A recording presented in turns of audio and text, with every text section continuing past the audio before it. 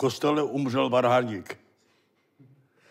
A farář říká, no co teďka budeme dělat? Do Velikonoce a my nemáme varhaníka. A kostelník říká, hledajte se, já tady znám nějakého pana Demetera, ten umí všecko. Tak šli za ním a on říká, já to zvládnu, nebojte se. Přijde prostě do kostela a farář mu říká, pane Demeter, až já řeknu, začnu se modlit, tak vám dám takhle to znamení a vy se přidáte. Tak pan farář říká, pane Bože, přijdi k nám, já ti za klobuček pírko dám. No, no. Člověk by se směl smát a jsem půl hodině denně. Kdo se nesměje, tak je nemocný.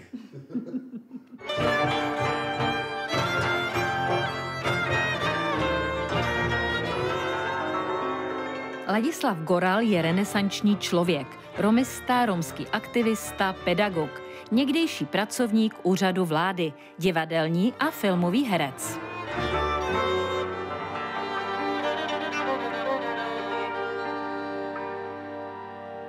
Ručičky poskávám.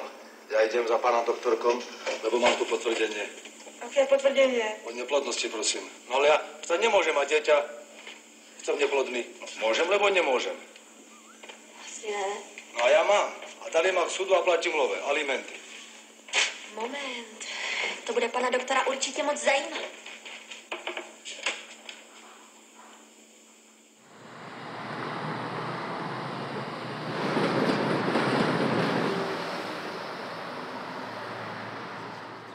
Čtrnáctiletý kluk jen tak se rozhodne, tak a já odejdu z domova.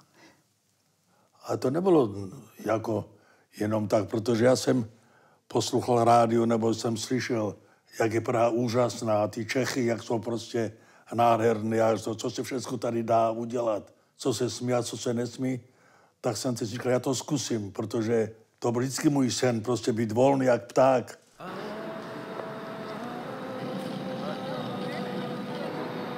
Ten človíček na tom nádraží, který mě potom odchytil a říká, co tady děláš, říkám, co ti do toho. A teďka se začal se mnou bavit, já jsem říkal, hele, já jsem tomu naučený, že nemám s cizíma lidma bavit. Říká, nemáš hlad? A já říkám, mám. Tak se jdeme najíst.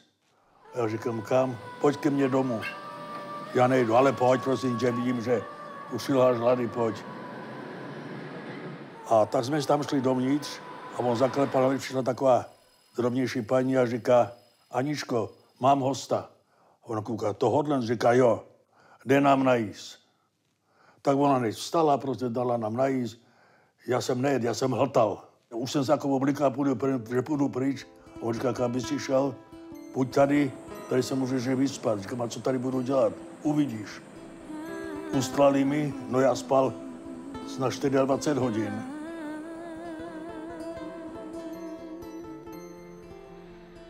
Michálkovi se 14-letého Ládi Gorala ujali a zařídili mu domov i práci.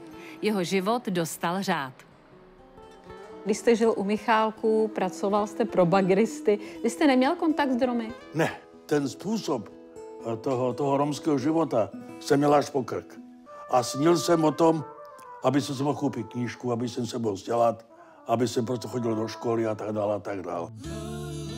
Do školy se dostal, dokončil základní školu a během let večerně vystudoval střední průmyslovou školu v Panské ulici. Bylo to trošku držina, protože zaprvé čeština mi dělala problémy a to vzdělání přece jenom, když má člověk devítiletku, tak je to o ničem jiným. Ale zase ta moje troška nevymáchaná z kamarádu a odkud jsem dostával prostě informace, takže, takže jsem tu školu dodělal. Něco s váma mluvit pan... Demeter, pán doktor, já platím alimenty a přitom jsem neplodný. No to děláte chybu, pane Deméter. A jak to víte? A vy tam na to složenky. Jak víte, že jste neplodný? Ale já žijem s Eržikou Já. a chci si mať děcko. A ono nič. Tak má přináčela lékárovi a tu je to potvrdění. Když to pán Je- Jaromír Jídeš, tak říká, prosím tě, ten kopecký je hrozně takový nevrlej, rozumíš mi? Ať to nekazíš, ať prostě to nemusíme opakovat. To tak? Říkám, neboj se, já se pokusím. A když řekli berem na první klapku, Takže mi podal ruku, paniko, bylo to výborný. To byla pro mě úcta. Já jsem se 14 dní nemil.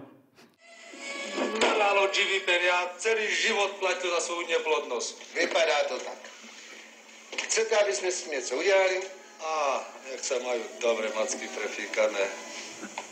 Velkorysý frajer. Kaj tu salášajen, hojman nadýchá, Tady kousek je úřad vlády. Ano, Kam jste taky chodil do práce? já jsem chodil do práce skoro 20 let, Jako co jste tam působil?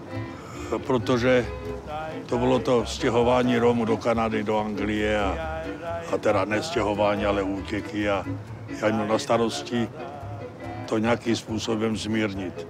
A tehdy premiér Václav Klaus říká, nechceš tomu zabránit, říkám, nechci, já ani nebudu. Říkám, že to je nejhorší blbost, jakou si kdy mohli vymyslet.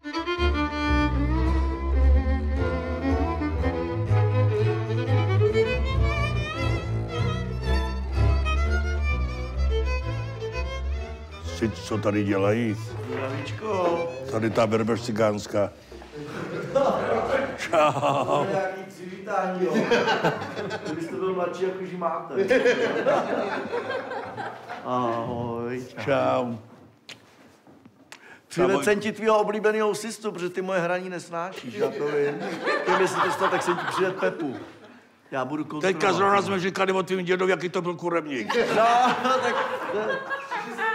No, přesně. Ty seš po něm, že jo? Vidíš, jak pomlouvám. Počkejte, zkoušel jste někdy hrát na nějaký hudební nástroj? To víte, že jo? A? Dopadlo to tak, že mi táta rozbil housle o hlavu. Když jsem byl malý, když mi bylo asi 9 let, našli jsme jinému chlapovi, který mu říkali muterdo. Muter. Jako pochcaný, jako jo. Tak šel k němu a říká, Martine, tady je můj kluk a já chci, abys ho naučil hrát. Po třech měsících nebo to přišel táta se zeptat na svého virtuóza, jak, jak pokračuje a ten Martin mu říká, Ludvo, vem ho.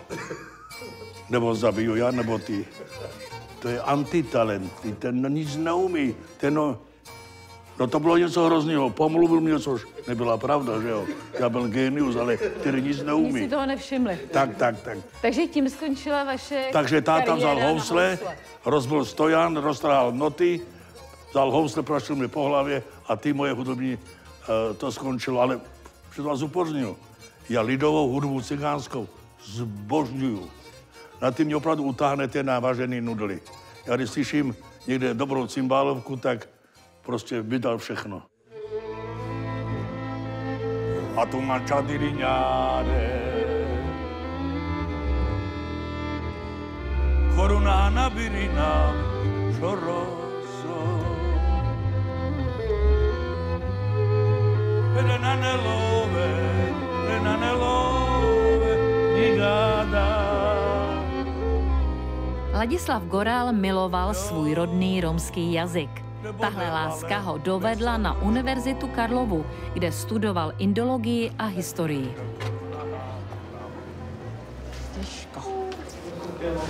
No teda to je, to je, promiňte, to je neskutečný. Kolik je to let, co jste tady byl naposledy? Víte se, když umřela Milena Hipšmanová, tak to už je 17, 17, 18 let. No a tam jsem se právě seznámil s Petrem Pitartem, s Vaškem Havlu, protože jsme chodili na ty bytové přednášky.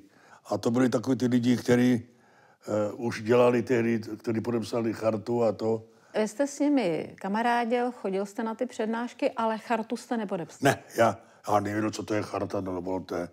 Pro mě to byla španělská vesnice charta. Ale byl jsem důležitý. Kamarádím s chartistama. Pořád přednášíte. Pořád. A učil jste romský jazyk a historii. A dialekt, hlavně dialekty a, a to, to kastovnictví, protože to je moje téma, no kastovnictví to je, to je to, co prostě, v čem jsem dobrý, říkají všichni. Ahoj, tati. Ahoj.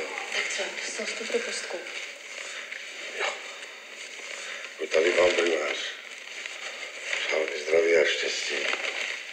se nechte dočíst v novinách o mojí oslavě.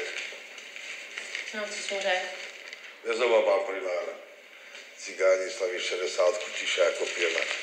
No, a zasmál se? Suchar. Hele, tati, a cítíš se na to?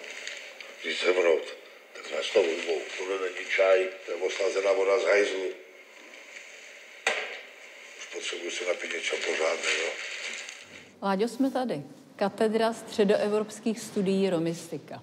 Potom v 76. 7. roce, kdy bylo nařízeno, aby v větších lokalitách, kde je romské obyvatelstvo, a- aby vznikli tzv. cigánskí kurátoři, tak teprve potom se začalo o tom trošku přemýšlet a začali se jímat, jaký rozdíl mezi cigánem a Romem.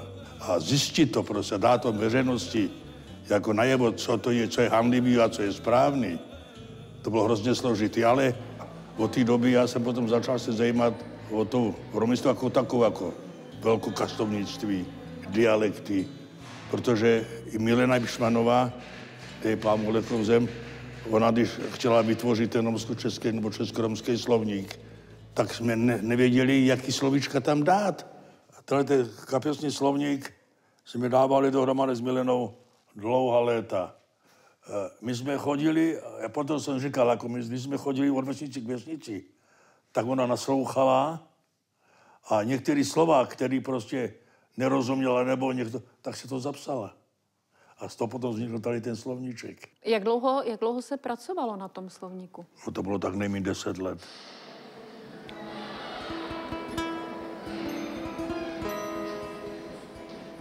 To jsou vzpomínky, na které člověk nikdy nemůže zapomenout.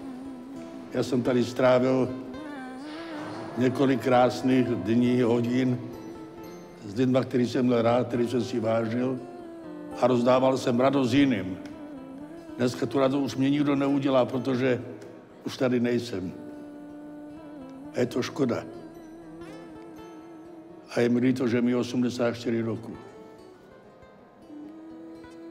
Ale takový je život. Se nedá nic dělat. Děkuji vám.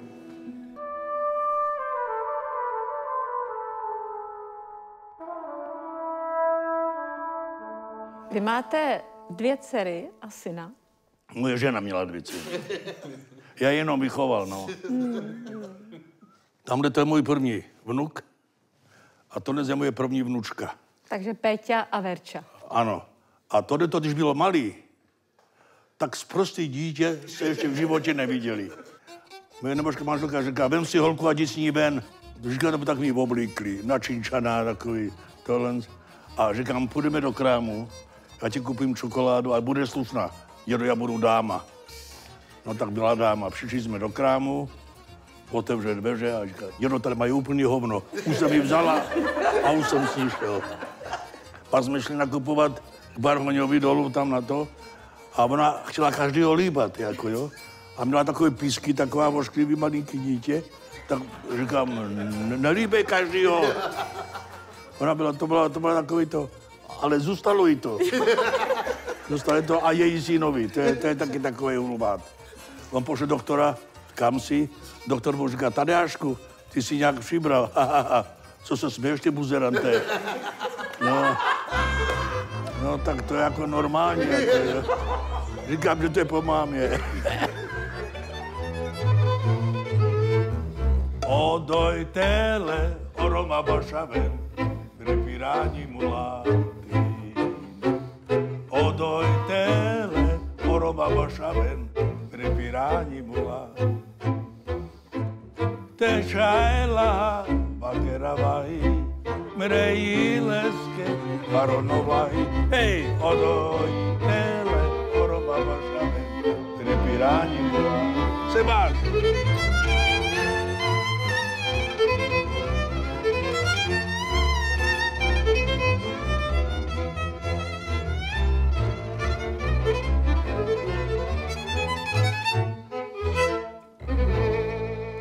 Bravo!